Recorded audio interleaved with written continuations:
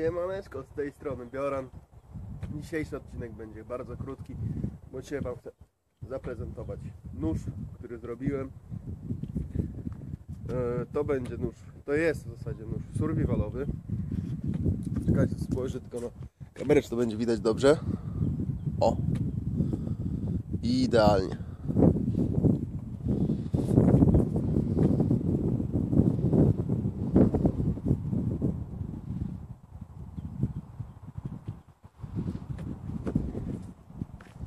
Dobra.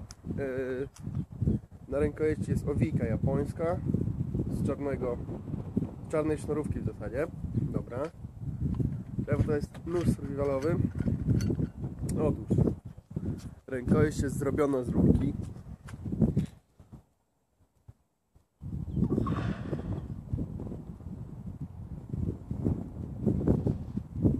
Tak to wygląda. O, Tu jest y, kapselek, który do niej zrobiłem. Nakrętkę, nakrą, nakrątkę? Nakrętkę, nie wiem. Coś koło tego. No i cóż, w następnych odcinkach spróbujemy znaleźć coś, co można byłoby włożyć do tego noża, do środka. Mam nadzieję, że materiał Wam się podobał. Nożyk, oczywiście chodzi mi o nożyk. Jeżeli tak, zostawcie jakiś znak. Przypominam, że mam już aktywnego Patronite'a.